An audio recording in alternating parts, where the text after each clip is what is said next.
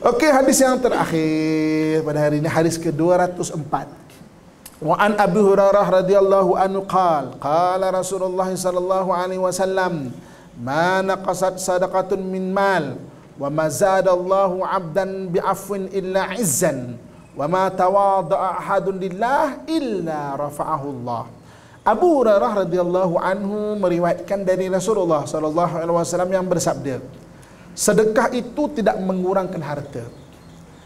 Dengan memaafkan, Allah menambahkan kemuliaan kepada hambanya. Bagi seorang yang tawaduk, pasti Allah mengangkat darjatnya.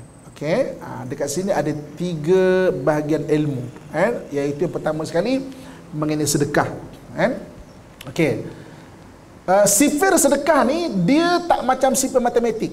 Dia memang pelik. Eh? Sifir sedekah, dia tidak macam sifir matematik. Dia memang pelik. Sifir matematik kita ada 10, kita bagi 5, kita tinggal 5. Itu sifir matematik.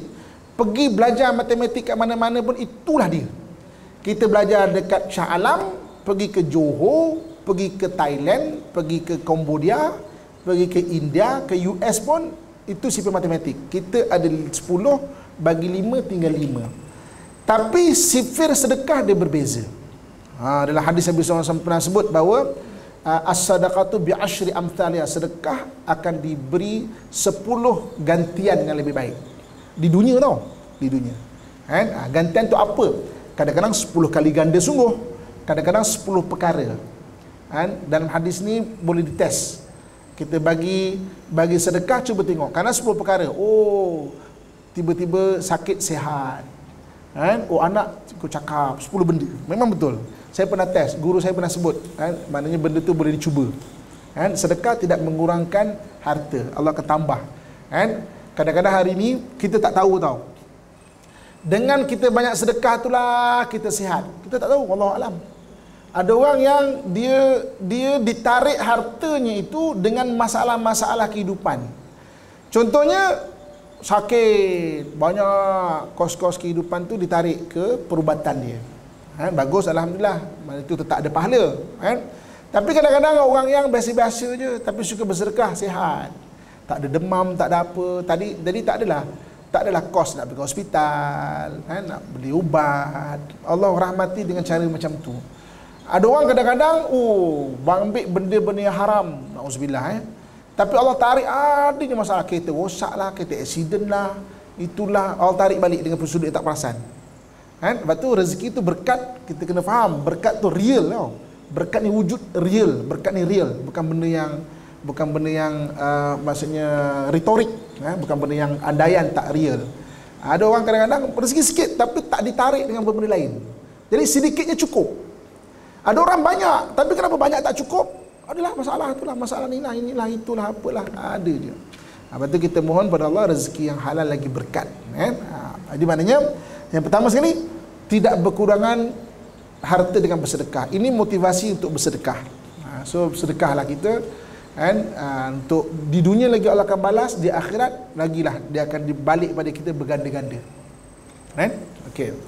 Yang keduanya adalah pelajaran yang kedua adalah orang yang sentiasa memaafkan akan Allah kurniakan dengan izzah kemuliaan. Orang yang memaafkan. Okey, kena faham konsep memaafkan. Okey. Kita memaafkan kesalahan orang lain bukan untuk orang itu. Okay? Kita memaafkan kesalahan orang lain adalah untuk kita, untuk kita melepaskan bebanan hati kita. Kenapa dalam hadis ini disebut orang yang sentiasa memaafkan diberi kemuliaan? Sebab masanya tidak ditarik dengan bebanan hati dia. Okay. Sebagai contoh, contoh hari ini. Tak percaya, cuba kita renung hidup kita. Kita ada sakit hati dengan seseorang. Berapa banyak masa kita ditarik ke tempat sakit hati kita tu? Contoh, sakit hati dengan mak mertua. Mungkin satu hari tiga jam teringat. Apalah mak ni kan buat saya macam tu ha. Sampai hati mak kan. Habis kita dah nak fikir tidur pula. Mana masa kita masa kita banyak habis. Sakit hati dengan menantu. Menantu, kan? Menantu tu satu hal lah kita tu sendiri. Kan? Oi, banyak masa 2 jam mungkin habis kat situ. Menantu ke hantu ni. Hei, apa nak aku pilih orang macam ni kan kita sakit hati okey Sakit hati dengan suami. Oh, itu paling banyak tu. 8 jam belum tentu habis tu.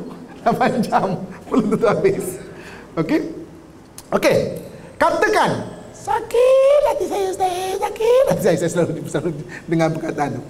Ya Allah, hari ini aku maafkanlah kesalahan semua orang. Aku maafkan. Teringat aku maafkan. Teringat aku maafkan. Teringat aku maafkan. Okey? Kalau betul dia ada dosa, Allah tu adil. Dosa dia tidak simply akan habis macam tu. Dia kena datang minta maaf kat kita. Tapi kita ya Allah aku maafkan semua orang, kita melepaskan bebanan diri kita. Semua masa yang habis tu milik kita sekarang. Tadi katakan 2 eh, jam mak mertua, 2 jam lagi apa nama uh, menantu, 2 jam lagi kawan-kawan, 3 jam dengan suami. Eh? Dah, dah, dah tua dah kurang sikit lah. Dulu 12 jam kan, dengan suami kan. Sekarang dah, dah berumur, dah kurang sikit. Lantak abang lah kan. Dah 3 jam. Tapi sakit hati tak ada kan. Lagi lagi 2 jam. Akhirnya, kita dah ada 24 jam je. Tolak 6 jam tidur. 6 jam tidur. Kita tinggal 18 jam. 18 jam ni, kalau kita ada sakit hati, mungkin 10 jam, dah 12 jam terambil. Dah benda-benda macam tu. Yang kita punya tinggal berapa jam? Tinggal 4 jam, 5 jam je. Macam mana kita nak bangunkan diri kita kan? Tapi hari ini sebelum tidur, sebab tu Nabi menganjurkan semua tidur maafkan orang kan? Sebab apa? Melepaskan beban hati. Ya Allah, aku maafkan seluruh orang yang salah pada aku. Kita pun tidur nyenyak. Taklah terjaga-jaga. Abang tipu saya ni? Terjaga-jaga kan? Kita pun tak deep sleep. Pagi esok penat kan? Lepas jaga je kan? Tipu. Nipu lagi lah ni. Tipu, tipu lagi. Nipu je fikir kan? Kalau betul risau buat suami, doa. Allah tu maha berkuasa. Kalau Allah nak tunjuk, kita tak payah cari. Dia timbul sendiri. Ha. Kita tercari-cari, tersangka-sangka kita yang penat. Doa, Ya Allah, tunjukkan. Tapi jangan silap doa. Eh. Doanya adalah, Ya Allah, tunjukkan yang aku boleh bantu baiki. Jangan tunjukkan saja. Kalau tunjukkan saja, takut kita tak larat nanti. Kan? Ha, kita pula tak larat dan nak menanggung. Ya Allah, yang aku boleh bantu baiki. Tunjukkan Tuhan. Kan senang. Kita kita ada Tuhan kan? Kita kan ada Tuhan. Kita nak find out untuk diri kita penat. Cek, cek tu, password. Tukar password pula dia ni. Sakit hati tukar password. oh, penat kak? Eh, penat, penat, penat. Hari ni, Ya Allah, aku maafkan semua, Ya Allah. Sebelum tidur, pagi-pagi bangun pagi-pagi. Ya Allah, aku maafkan semua orang. Oh, 16 jam semua milik kita. Bayangkan 16 jam semua milik kita, satu jam setengah kita buat belajar kita punya nilai mental kita tinggi, makin tinggi, makin tinggi, makin tinggi. Kalau tak duduk dalam kelas, dalam kelas duduk pun tak belajar. Kan? Orang belajar, kita menconteng gambar ni. Ha. Eh, belajar. Dengar, macam dengar tapi tak banyak. Kan? Penipu ni sekarang ni, pandai ni. Jagalah awak ni. Eh. Jagalah, jagalah, jagalah. tak belajar. Orang belajar, mental makin tinggi. Kita tak belajar sebab masa habis. Kan? Itu pun datang sebab kawan. Eh jomlah habis kelas. Ayolah ayolah ayolah. Itu pun sebab kawan ajak. Kalau tidak kat rumah penuh kat dapur tuan penuh sebab itu memaafkan apa kata Nabi SAW Allah kurniakan izzah. Izzah itu sebab apa? Semua masa itu milik kita kita boleh develop diri kita ke arah lebih baik ha, bangunkan. Solat kita makin baik akhlak kita makin baik. Ilmu makin banyak. Oh bila orang ada ilmu banyak ni dia lain beza. Allah sebut dalam Quran eh. La yastawi alladhina ya'lamuna wal ladina la ya'lamun. Tak sama orang ada ilmu dengan orang tak ada ilmu. Beza. Cara mandang beza. Cara mandang beza cara bercakap beza cara menilai beza. Orang kalau ada ilmu. Kan? Ha, dan bahagian ketiga iaitu siapa yang tawaduk. Tawaduk ni rendah hati. Rendah hati. Hati tu rendah walaupun dia tu hebat tapi hati tu rendah eh bukan bukan merendah bukan merendah diri sampai menghina diri. Jangan eh? Ha, jangan jalan macam ini macam ini jalanan eh, sampai sampai langgar tiang. Kenapa tu aja tawaduk. Itu bukan tawaduk eh. bukan tawaduk. Tawaduk tu merendah hati. Hebat tapi hati itu tak bongkak tak bongkak pun. Eh, hati tu relax. Man-man je. Tenang-tenang je. Hati tu relax tenang-tenang je. Tak menghina orang eh? tak terlalu gairah nak dapat pujian orang. Nanti tu tawaduk maka Allah kata Allah akan rafa'ahu. Allah akan angkat nilai dia itu Allah akan angkat nilai dia eh? ha, tu. Ha, jadi itu tiga bahagian kan? satu panduan dalam hadis Nabi SAW mengenai dalam kehidupan kita tu kan? Ha, so maafkan orang banyakkan sedekah tawadukkan rendahkan hati dalam kehidupan ni okay? Jadi saya rasa setakat saya dulu yang boleh kita kongsikan bersama.